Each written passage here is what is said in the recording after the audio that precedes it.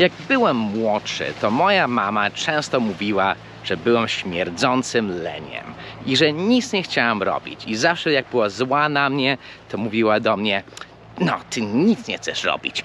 Ty tylko chcesz się bawić i mieć good time. Ja tak zawsze myślałam, co? Good time? Czy on to specjalnie tak mówi źle? I myślę, że do dzisiaj ja i moja siostra się z tego śmiejemy, że ona mówiła good time. I dlatego chciałam wam wytłumaczyć dzisiaj, jak to się poprawnie wymawia. Instytut Lingwistyki przedstawia To zaczniemy od tego, jak się wymawia słowo good. I wiem, że mówiliśmy o tym wcześniej. Ja przynajmniej nagrywałem mnóstwo filmików o tym. Mam nadzieję, że tego widziałeś, ale jak tego nie widziałeś, to to szkoda, nie wiem co mam ci tutaj powiedzieć. Ale okej, tak to działa, że po angielsku, jak słowo się kończy spółgłoską, to wtedy przeważnie są wyjątki, tak jak going albo running, że wtedy, wiesz, można powiedzieć running, ale ogólnie się mówi running, okay? bo się nie mówi tego g. A to jest przez to, że mamy tam ing, to znaczy ing. Ale jak mamy takie normalne słowa, tak jak good, to wtedy się wymawia tą ostatnią literę mocno. I po polsku jest na odwrót, że się nie wymawia tą ostatnią literę, albo się zmienia tą ostatnią literę. Trochę jak słowo chleb. Wiesz, przeważnie, z tego co wiem, to ludzie nie mówią chleb. Chyba nie. Chyba się nie mówi chleb, bo to by, dziw, to by dziwnie brzmiało. Się mówi chleb. To jest prawie takie P.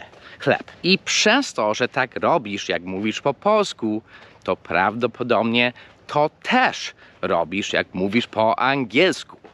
I to bardzo, bardzo źle brzmi po angielsku. I dlatego moja mama zamiast mówić good, to mówiła good. Może ona udawała, że była Niemcem, tak jak ja, das ist gut. Chyba tak Niemcy mówią, nie jestem pewny. No i jak chcesz mówić po niemiecku, to okej, możesz mówić good, ale po angielsku tak się nie mówi. Chyba możesz słyszeć różnicę między das ist gut i that's good. Good.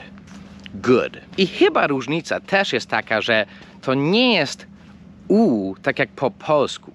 To nie jest good, to jest good. To jest takie u, takie, takie dłuższe. To nie jest good, to jest good. To jest długie.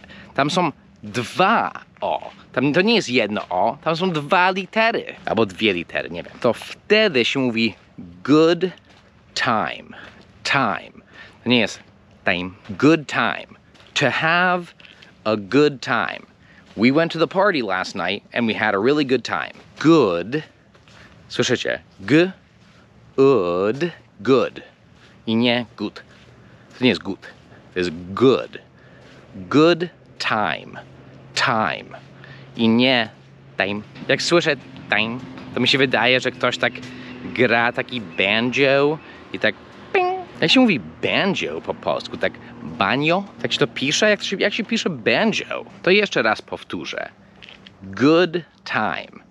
To have a good time. Jak się przeprowadziłem do Polski, to tak ciągle mówiłem, że tak, o, mieliśmy naprawdę dobry czas. I potem się dowiedziałem, że tak się nie mówi. Może dlatego moja mama mówiła good time, zamiast, nie wiem, ta, ta polska, co, co jest ta polska wersja tego? Ty tylko chcesz mieć good time. I jeszcze do tego była taka bardzo wkurzona, no wiecie jakie, jakie polskie matki są. Ale różnica jest taka, że twoja mama tylko mogła ci mówić, że jesteś śmierdzącym leniem w jednym języku, ale moja mama to robiła z dwoma językami. Tylko chcesz mieć good time.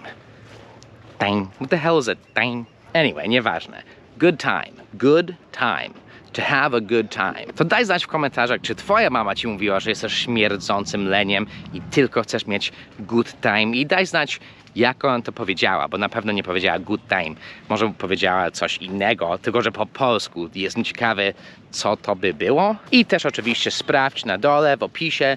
Mamy dla ciebie siedmiodniowe wyzwanie z angielskiego.